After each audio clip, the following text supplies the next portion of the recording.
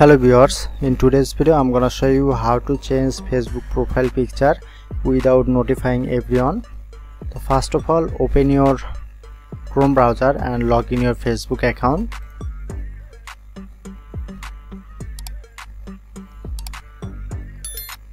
Look at this is my facebook account dashboard. Now i'm showing you easy method step by step. So follow my all process. Look at the left corner tap on profile icon and tap on this.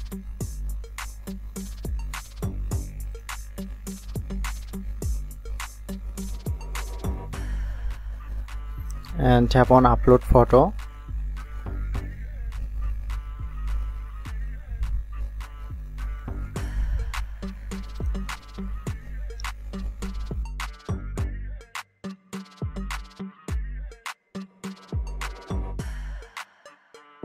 and tap on save.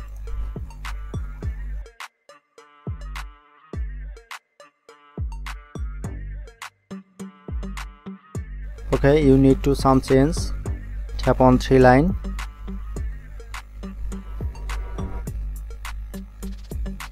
And tap on edit audience. And select only me. And then save